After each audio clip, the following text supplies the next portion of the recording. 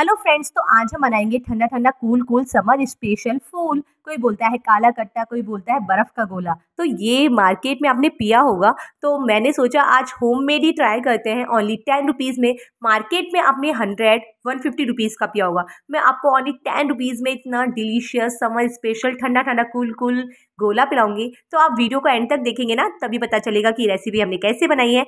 तो यहाँ पर हमने आइस को क्रश कर लिया है। क्रश करने के बाद एक ग्लास लिया। और ग्लास में आइस को फिल कर दिया, कर देंगे और अच्छे से प्रेस कर देंगे।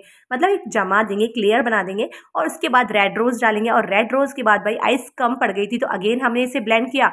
पर हमने आइस को वापस से अगेन क्रश किया और आप यहाँ पर देख सकते हैं आइस क्रश हो गई है। तो यहाँ पर हमने ग्लास के नेक्स्ट प्रोसेस में अच्छे से फिल कर दिया है, एक लेयर लगा दी है अगेन एक लेयर लगाने के बाद, इसे सेट करने के बाद हम क्या डालेंगे? खसखस का शरबत, जो सबका फेवरेट होता है। और साथ ही में यहाँ पर आप देख सकते हैं, मैं ऑरेंज वाली जो आइसक्रीम है ना, वो ले रही हूँ। तो मैंने ये घर पर ही बनाई है फ्रेंड्स तो मैंने वो लगा दी।